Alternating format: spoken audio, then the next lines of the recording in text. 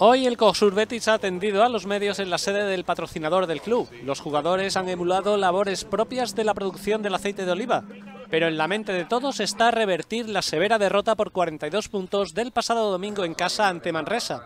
A Joan Plaza no se le va el enfado. Nunca se te pasa hasta que no vuelves a ganar o a competir mejor. Y jugando al 70% somos un equipo bastante vulgar jugando al 100% podemos competir con cualquier equipo de España o de Europa. A pesar de todo, con una victoria y dos derrotas, los objetivos aún no se han roto. Yo ya firmo ganar uno de cada tres partidos de aquí hasta final de la liga.